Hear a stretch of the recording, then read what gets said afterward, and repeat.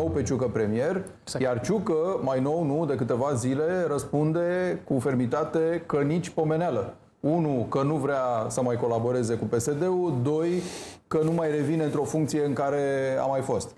Noi ne-am exprimat punctul de vedere legat de un, uh, un uh, premier care a avut experiența uh, guvernamentală, a condus guvernul, am uh, discutat împreună care e strategia pe termen lung și care, în mod normal, ar trebui să continue un astfel de, un astfel de proiect.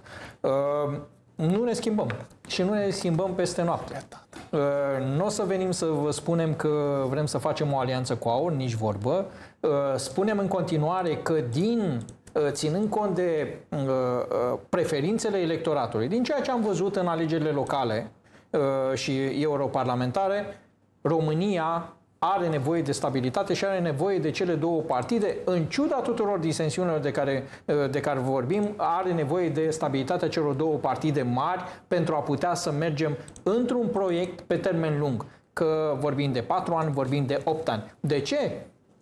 Ne bate războiul la graniță. Am fost săptămâna, săptămâna asta, A, am fost deci la Kiev. O, o ne întoarcem la povestea cu stabilitatea acum. Uh, Când, uh, păi, ar trebui să ne punem foarte, foarte ne serios. și dronele ar la graniță ne, și tot, cu, cu toată stabilitatea de, de politică, nu le dăm la schimbat legea ca să puteți să dați jos dronele. Deci nu, eu nu mai suport chestia asta cu stabilitatea. De trei ani de zile, să fac trei, în câteva luni să fac trei ani de când intră dronele în Tulcea, în Constanța, și voi n-ați schimbat legea în Parlament, deși ați avut majoritate, să le dați naibii jos.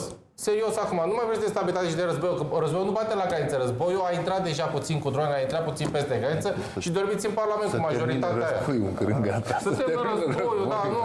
Sunt sigur că se va Și, și știți ce mai schimbați? Că acum a, a, a, legea pe care, a, a, proiectul de lege care ați venit acum două zile, mai schimbați o chestie. Însă,